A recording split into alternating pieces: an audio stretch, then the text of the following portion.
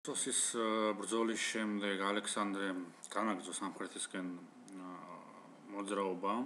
მან გაიარა სირიის სანაპიროები და ფინიკის ფინიკის სანაპიროები.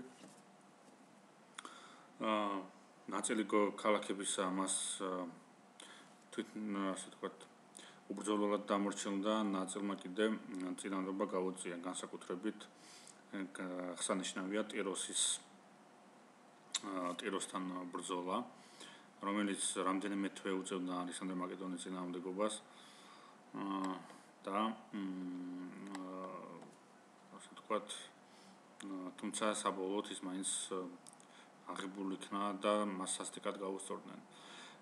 ამ ამ ამ პერიოდში სპარსეთის მეფემ რამდენჯერმე შესთავაზა ალექსანდრეს ზავი, თუმცა მან ორივე მან ამ შეთავაზებაზე უარი თქვა და მიანიშნა მას და პირდაპირ გამოცხადა სპარსეთის მეფეს, რომ თელი სპარსეთი მას ეკუთვნის და მას ეს დათმობები არაფერში არ ჭირდება. როგორც ვიცით, სპარსეთის მეფე უთმობდა თელ ტერიტორიებს და სთავაზობდა კონტრიბუციებს, რათა მას როგორმე შვიდობა შვიდობა, ასე თქვა, ჩამოიგდო ალექსანდრესთან. შემდგომში უკვე ალექსანდრე დაეძრა ეგვიპტეში, ეგვიპტისკენ, სადაც მან მოახერხა, ასე თქვა, დიდი წინანდობების გარეშე დამკვიდრება ამას ხელს უწყობდა ისიც რომ ეგვიპტელებს თვითონ უნდათ როგორმე მოეშორებინათ სპარსელების ბატონობა ის გამოცხადდა ფარაონად ალექსანდრე და მანაც ასე თქვათ დიდი პატივი მიაგო დიდი პატივი მიაგო ადგილობრივ ღმერთებს. ამის შემდეგ აა აქ მინდა ერთ მომენტს მივახციოთ ყურადღება რომ მან ეგვიპტე მ ში მართლობის სისტემა თავისებურად ასე თქვათ გაანაწილა დაყო რაც პრინციპში გახდა საფუძველი ზოგადად ალექსანდრე მაკედონელის უზარმაზარი იმპერიის შემდგომ პერიოდში, როდესაც ის სხვა სხვა ტერიტორიებს იპყრობდა, სწორედ ამ მოდელის საფუძველზე აა ყოფდა ის პოლიტიკურ თუ მართლობითი სისტემას დაპყრობილ ტერიტორიებზე. კერძოდ მან ეგვიპტეში ადმინისტრაციული ხელისუფლება ჩააბარა ადგილობრივ არისტოკრატიას, ფინანსური და სამხედრო კი ჩაბარა მაკედონელებს, ფინანსური მაკედონელებს, ხოლო სამხედრო კიდევ ბერძნებს. ანუ აქ ის პრინციპია, რომ შეიძლება სხვა სხვა კონფიგურაციით ხდებოდა სხვა ტერიტორიებზე ხელისუფლების დანაწილება, მაგრამ თავარია ის პრინციპი, რომ ერთ ადამიანზე არ იყო კონცენტრირებული ამის შემდეგ ალექსანდრე მაკედონიის დაპყრობილ ტერიტორიებზე ხელისუფლება გარკვეულწილად ბალანსი იყო დაცული ადგილობრივსა და მოსულ მართლ ელიტას შორის. აა 331 წელს წელთაღრიცხვით აა ალექსანდრე ტოვებს ეგვიპტეს და გადადის ეფრატს და ტიგროს. აა ამასობაში დარიოსიც ემზადებოდა განაწყვეტ ბრძოლისთვის მან მოახერხა უზარმაზარი სამხედრო თუ ფინანსური თუ ადამიანური რესურსების მობილიზება და ფაქტურად ალექსანდრე მაკედონელის უკვე სხვა სპარსულ არმიასთან ჰქონდა ასე ვთქვათ საქმე. ბრძოლა მოხდა 331 წელს 1 ოქტომბერს გავგამელასთან, რომელიც ერთ-ერთ ცნობილი ბრძოლა თაგანია, საერთოდ ძველ სოფლიო ში მი ძველ სოფლიოში მომხდარ ომებს შორის ბრძოლა როგორც ისტორიკოსები ყვინან ერთი დღის განმავლობაში გრძელდებოდა მაგრამ საბოლოოდ მაინც აა დარიოსმა ვერ გაუძლო მაკედონელების შემოტევას და ჯერ კიდევ იმ დროს, როდესაც მას მის და მის ჯარს შესწევდათ სერიოზული წინანდობების გაწევა ალექსანდრე მაკედონელისთვის დარიოსი გაიქცა ბრძოლის ველიდან.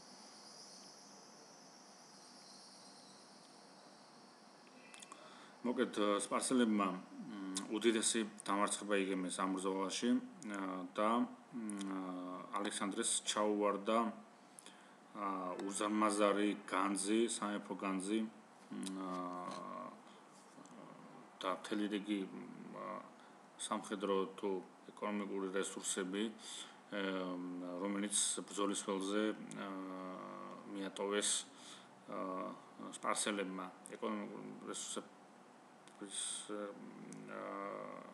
შეიგულისხმება ის ალაფები და თქვათ სპილოები, აკლემები და ყველა ის აღჭურვილობა და ზოგადად აუცილებელი რესურსები, რომელიც ასე ასე თქვათ უხვად გააჩნდა სპარსელებს.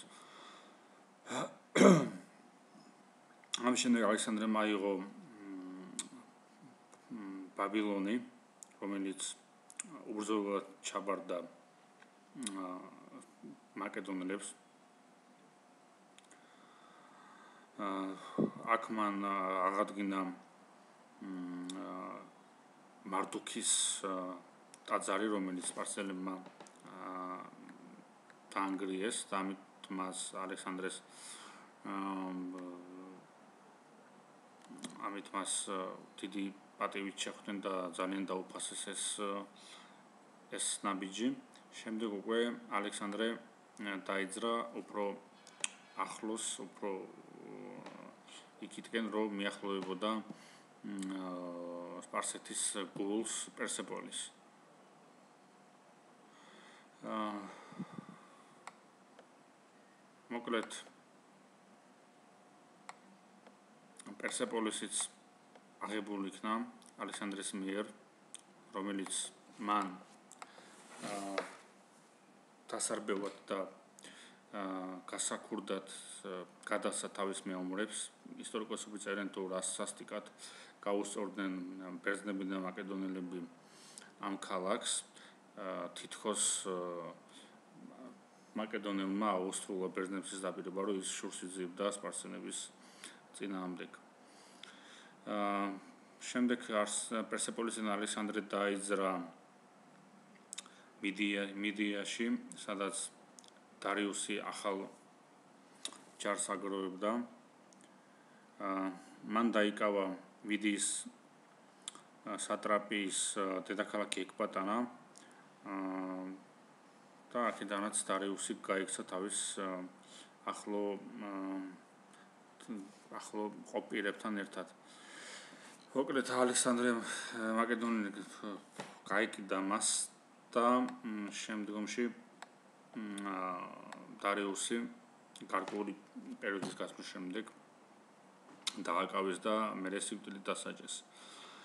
აა პრინციპში ამ ამით თითქოს მიღწეული იქნა ზერითადი მიზანი ამ ლაშქრობის აა დაპყრობილი იქნა სპარსეთი აა მისი მეფე დასჯილი თუმცა ალექსანდრე მაკედონელი უკვე სთავაზობს თავის ლაშქარს და მომხრეებს, რომ გააგზელონ ლაშქრობა უფრო აღმოსავლეთით, რათა დაიპყრონ უფრო და მეტი ტერიტორია. აქედან ჩდება მოსაზრება, რომ სწორედ ამ დროიდან აა იბადება ალექსანდრე მაკედონელის გეგმაში მაშინდელი სოფლიანად მაშინდელი სოფლიოს დაპყრობის შესახებ. ალექსანდრე მაკედონელი განაგრძო აღმოსავლეთის ლაშქრობა და დაიპყრო უზარმაზარი სივრცე, რომელიც მოიცავდა ჰირკანიას, პართიას, არიას, დრანგიანას და არა არახოზიას, რომელიც ეს ეს არის თანამედროვე შუა აზია. თუმცა აა ალექსანდრე მაკედონელის ამ ასე ვთქვათ ლაშქრობის გაგზელების მომხრე ყველა არის ყო რა თქმა უნდა გარკვეული უკმაყოფილოებები ჩნდებოდა ამ თვალსაზრისით განსაკუთრებით უკმაყოფილებას იწვევდა ის რომ ალექსანდრე მაკედონელმა დაიწყო ეგრეთ წოდებული ორიენტალისტური პოლიტიკა როგორც ამას თანამედროვე ისტორიკოსები უწოდებენ კერძოდ მან დაიწყო ადგილობრივ არისტოკრატიასთან კავშირი რათა მას ქონოდა საყრდენი დაპყრობილ ტერიტორიებზე. აა სწორედ ეს არის ელინიზმის ეპოქის ერთ-ერთი დამახასიათებელი მომენტი, როდესაც ხდება ინტენსიურად შერწყმა ბერძნული, ანუ დასავლური ელემენტებისა და დამხტური, დაპყრობილი აღმოსავლური ელემენტების. აქტიურად ხდება წახალისება იმ სისტემის დამკვიდრების თვალსაზრისით, რაზეც მე ეგვიპტესთან დაკავშირებით საუბრე, ანუ აა გარკვეულწილად ადგილობრივი მართლობა მიმდინარე ადგილობრივი მართლობა მართლობის ჩამოყალიბება ხდება. სხვადასხვა წრეებიდან ეს იქნება მაკედონური, ბერძნული თუ ადგილურივისგან და რაც პრინციპში განაპირობებს აა განაპირობებდა ძალთა ბალანსის დაცვას.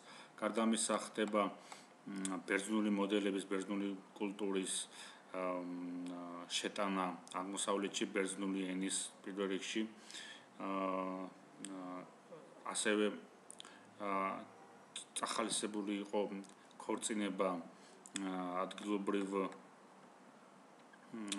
ადგილობრივ არისტოკრატიის ქალიშვილებზე რითაც იქნებოდა სრულიად ახალი ფენა ანუ ელინისტური სახელმწიფოებისთვის დამახასიათებელი ფენა რომელიც შედგებოდა ორი ამ ძალიან შედგებოდა სხვადასხვა კულტურების წარმომადგენლების ერთობლიობის სახით. რა თქმა უნდა, რაზეც მე ხლა ვისაუბრე, იყო წინააღმდეგობები საკუთრივ არმიაში, ეცინააღმდეგობდნენ ამ პოლიტიკას, ალექსანდრეს პოლიტიკას ბერძნები და მაკედონელები. თუმცა ის მაინც ახერხებდა თავისი პოლიტიკის გატარებას. აა მან რამდენიმე შეთქმულება გამოავლინა და რომელთა მონაწილეები და მეტაურები სიკვდილით დასაჟეს. აა ამის შემდეგ რაც ერთ-ერთი ყველაზე მნიშვნელოვანი მომენტია, იწება